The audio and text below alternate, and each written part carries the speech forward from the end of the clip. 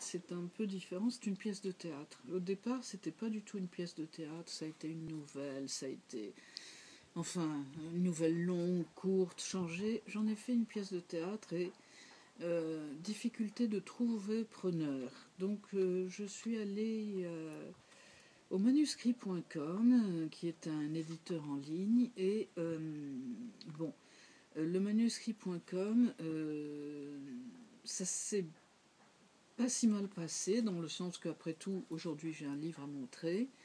Euh, mais par contre, euh, bon, que ce livre est correctement mis en page, euh, là on peut le voir, il n'y a rien à dire, c'est bien, bien imprimé, il n'y a, a, rien.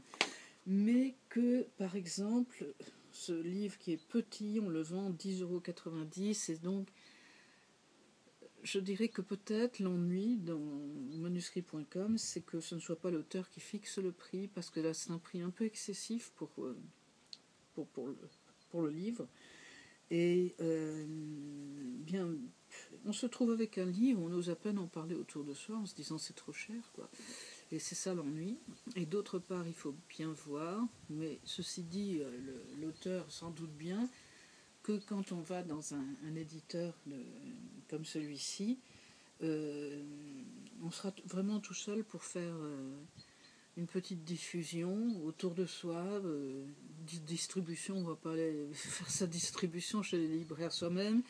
Donc bon, moi je pense que c'est un, c'est une solution quand on n'a pas du tout d'éditeur, qu'on veut quand même que quelque chose existe, parce que ce qui est important, c'est de dire que si on écrit, euh, et si on s'arrête, si on met son manuscrit dans un tiroir ou n'importe quoi, on se sent très, très floué, on est très, euh, très désolé. Pourquoi? Parce qu'il euh, faut arriver à l'objet fini. Et l'objet fini de l'écriture, c'est quand même un livre.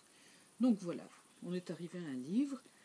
une, le, thème de cette histoire de moquette, je voulais illustrer dès le départ le, les relations qu'on peut avoir avec des objets, et en particulier comme parfois on s'attache d'une manière excessive à un objet. Alors bon, l'objet euh, par excellence auquel les gens peuvent s'attacher, c'est souvent leur voiture. On voit des gens qui se, qui se battent pour leur voiture, des choses comme ça. Et là, et là bon, j'ai pensé qu'il serait plus intéressant de choisir un autre objet, un objet plus original, disons, et c'est la moquette. C'est-à-dire que ces gens-là, eh bien finalement la moquette euh, les accompagne dans leur euh, vie, dans leur euh, réussite professionnelle. plus ils ont d'argent, plus ils vont changer de moquette pour qu'elle soit de plus en plus belle. Et puis ça devient, ça tourne un peu à l'obsession. C'est-à-dire que une moquette, bah, c'est difficile de la garder toujours en bon état. Alors là, je vais peut-être lire un extrait.